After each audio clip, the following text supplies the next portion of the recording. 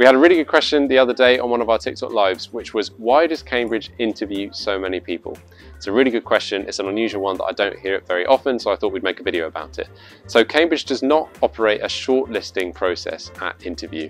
Instead, what we're doing is what we call deselecting those applicants who, in our judgment, even if they came to interview and gave us a fantastic performance, out of 10 out of 10, Unfortunately, the rest of their application is not of a sufficient quality to justify us making them an offer. So we deselect a small number, um, it would be around 25, 30% of applicants, and we interview around 70, 75% of applicants. Now the interview is not the final hurdle, it is one extra piece of information that we use when assessing applicants and deciding who to make our offers to. But any one of those students that we invite to interview is in a situation where if they do very, very well at interview, we may well consider making them an offer.